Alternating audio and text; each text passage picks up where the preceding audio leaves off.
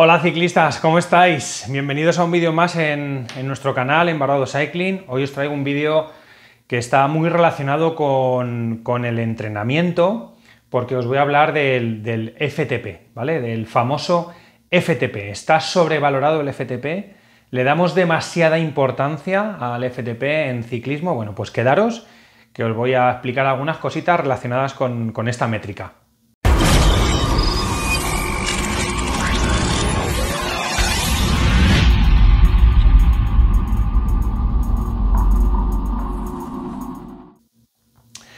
Bien, como, os decía, voy a hablar del FTP. Eh, hace unas semanas, en un vídeo que grabé eh, o que subí al Instagram, pues alguno de vosotros me pedía un vídeo un poquito más extenso sobre el FTP porque yo hacía un poco ese titular, ¿no? El FTP está sobrevalorado.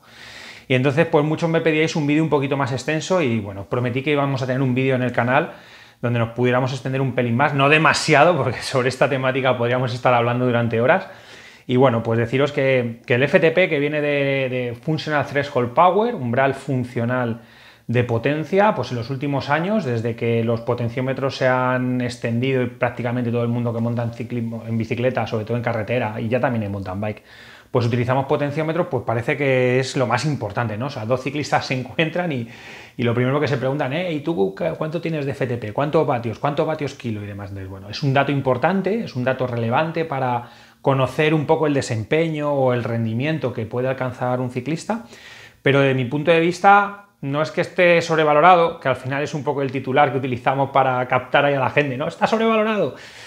Está sobrevalorado, pero sobre todo porque se desconocen muchos aspectos importantes que hay que tener en cuenta a la hora de, valorarlo, ¿no? de valorar este, este, FTP.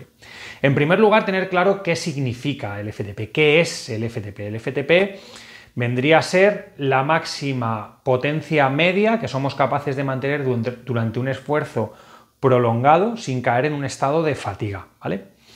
Es así un poco como lo definían eh, Hunter Allen y, Andy Cogan en sus primeras publicaciones hace ya unos cuantos años. ¿no? Entonces, aquí, bueno, esta definición también tiene, bueno, pues algunas lagunas. Ya sabéis que se definía el FTP como, o que el test que se hacía para establecer el FTP era un test de 60 minutos a tope. O sea, tú te ponías a tope durante 60 minutos y la potencia media que eras capaz de mantener durante ese tiempo, pues era el FTP. A tope, todo a tope que pudieras, claro, sin, llegar a, a, tener que detenerte por la fatiga. Luego, más adelante, en vez de 60 minutos, pues por la dificultad que entrañaba hacer un test tan largo, pues empezaron a hacer test de 20 minutos. ¿no? Entonces, pues hace 20 minutos, se toma la potencia media de los 20 minutos y se le aplica un factor corrector para igualar los 20 minutos a los 60, por así decir. Y el, factor corrector que se suele utilizar es el de 0,95, o sea, se le quita un 5% a la potencia media de los 20 minutos y eh, ese sería el, FTP, que seguro que ese test lo habéis hecho muchos de, de vosotros. Entonces, bueno, pues deciros que eso es un poco la definición más estricta, pero que lo que tenemos que entender más es el concepto, ¿no? El concepto de FTP, lo que, entendemos por FTP, que sería, para mí es la máxima potencia sostenible en un estado estable, o sea, es un estado estable de potencia. No ir a tope durante un tiempo determinado y llegando a una fatiga extrema al final de ese esfuerzo, sino una potencia que tú seas capaz de mantener, como decíamos, sin llegar a estar en un estado de máxima fatiga, sin que se, lleguen a disparar los valores de carga interna, como puede ser frecuencia cardíaca, consumo de oxígeno, eh, niveles de lactato en sangre, o sea, que nos mantengamos metabólicamente estables, sea, la potencia media más alta que soy capaz de mantener en un estado de estabilidad metabólica, ¿vale? Para mí eso sería más el, el FTP. Entonces, entendiendo este estado estable, y bueno, sabéis que podemos medirlo y se asocia mucho el FTP al estado estable, al máximo estado estable de, de lactato. Yo soy más partidario de, ir un poco para ahí. Miro un poco para abajo porque, bueno, tengo aquí mi chuletilla para no irme por las ramas, pero bueno, básicamente es un poco lo que, lo que os quería decir. Además, que sepáis que, que no creo que sea un punto exacto, un punto fijo. O sea, mi FTP está a 272 vatios. Si voy a 273 voy por encima del FTP, si voy a 271 voy por debajo de mi FTP. No, yo creo que eso es un error. Yo creo que es una zona, una franja de intensidad, una horquilla de vatios pequeña, pero donde podemos mantenernos y además esa horquilla creo que cambia eh, de un día para otro e incluso dentro de un mismo entrenamiento. Eh, luego hablaremos de eso, pero ese concepto de cómo cambia el, el FTP a lo largo de una sesión de entrenamiento creo que también es un dato importante. Con respecto a los protocolos que utilizamos para hallar el FTP o para estimarlo, también hay bastante debate. Sabéis que el protocolo original, que lo tengo por aquí, es el siguiente. 20 minutos de rodaje suave. 20 minutos de rodaje suave. Luego tres series de un minuto con cadencia rápida, unos 100 RPMs. Luego 5 minutos de pedaleo suave. Luego hacemos un P5, o sea, 5 minutos a tope para generar fatiga previa al test. 5 minutos a tope. Luego rodamos 10 minutos suave y hacemos los 20 minutos eh, de time trial, de contrarreloj, o sea, los 20 minutos de test real, ¿vale? Y luego ya 10-15 minutos para soltar. Entonces, fijaros todo el protocolo original de Allen y Cogan, cómo tiene un montón de fases que muchas veces nos saltamos o muchos ciclistas se saltan, simplemente toman los 20 mejores minutos, ¿vale? Entonces, claro, dependiendo de cómo hayamos hecho el, test para establecer el FTP, pues también puede haber mm, diferencias importantes. ¿eh? Es otra de las cosas por las que hay que tener en cuenta cómo, se ha establecido ese FTP. Y además, en un reciente estudio del doctor Sebastián Sitko, que publicó el año pasado, pues él dice o determina, y no creo que es bastante lógico, que no todo el mundo tiene por qué tener el, aplicar el mismo factor corrector de 0.95. O sea, no todo el mundo tiene que quitarle un 5% a los 20 minutos para establecer el FTP. Ellos hicieron un estudio y, observaron que ciclistas recreacionales deberían aplicar un factor corrector de 0.88, ciclistas entrenados 0.92, ciclistas muy bien entrenados 0.95 y ciclistas profesionales 0.96. Es decir, que cuanto más entrenado estás, menos diferencia va a haber entre tu rendimiento en 20 minutos y tu rendimiento en una hora. Parece lógico, ¿no? Entonces, bueno, pues fijaros cómo todo esto puede influir mucho en el FTP que tenga un ciclista o tenga otro. El FTP normalmente también lo utilizamos para aplicar, para luego establecer las zonas de trabajo, ¿no? La zona 1, la 2, la 3, la 4, la 5, la 6, la 7, normalmente se trabaja con un modelo de 7 zonas por potencia y tal, de Anil y esto.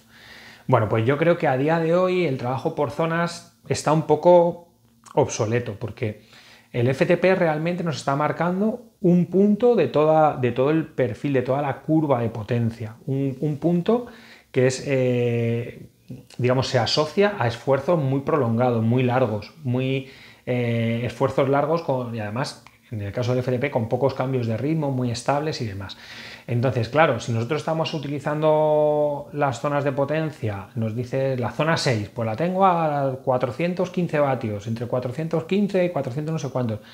Y, para hallar esa zona 6 me estoy basando en el FTP, pues me estoy basando en un esfuerzo muy prolongado para luego establecer zonas donde voy a hacer esfuerzos cortos. Entonces eso conlleva un error bastante, yo creo, grande. Entonces yo, pues si tenemos herramientas como las que tenemos ya, los, los, software que tenemos ya de análisis de entrenamiento y demás, pues me basaría más en, el perfil de potencia para establecer rangos de vatios en los que quiero trabajar en función de la duración de los esfuerzos. ¿vale? Entonces eso creo que también es, es un dato bastante importante.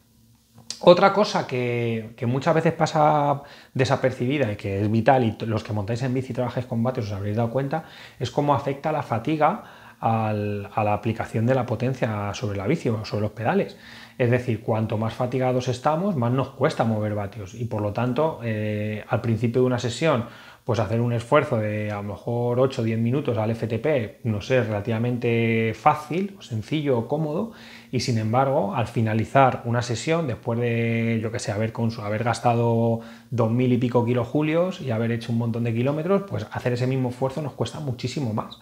Entonces, guiarnos a lo largo de toda la sesión por un FTP constante, pues a veces es un poco también peligroso, ¿vale? Tenéis que saber cómo afecta la fatiga y luego habrá deportistas a los que les afecte mucho más y habrá otros a los que estén más entrenados y les afecte mucho menos. De hecho, se sabe que esa resistencia a la fatiga eh, es una de las variables que más diferencia a los ciclistas populares de los, de los buenos, de los muy buenos o de los profesionales, que son capaces después de haber hecho un montón de, trabajo, un montón de kilojulios y un montón de kilómetros, pues de repetir una y otra vez esfuerzos a los mismos vatios, cuando la gente menos entrenada pues mm, no es capaz de repetir esos esfuerzos.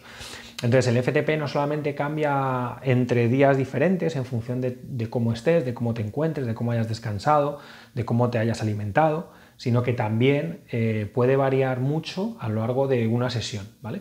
Entonces son un montón de cosas y de parámetros y de aspectos que hacen que, bueno, pues hay que conocerlo. No quiere decir que el FTP no sea una herramienta o una métrica útil, que lo es, pero no es la única métrica a la que nos tenemos que basar. De hecho, hay disciplinas como por ejemplo el mountain bike, donde yo creo que hay métricas mucho más relevantes para determinar el rendimiento de un deportista que el FTP, porque si os fijáis en el mountain bike, por ejemplo, también depende, ¿no? Por el, cross country, por ejemplo, son esfuerzos muy cortos, muy repetidos y muy explosivos.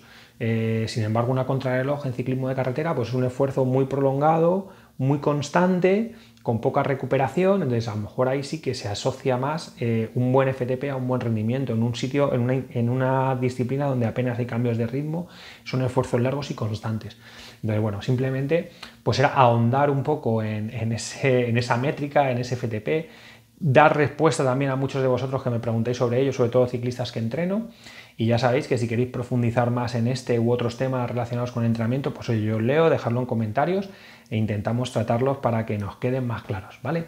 De momento vamos a seguir disfrutando de nuestras bicis, tanto de carretera como, como de montaña. Y nada, chicos, chicas, nos vemos en los caminos, nos vemos en las carreteras. Un saludo, hasta la próxima.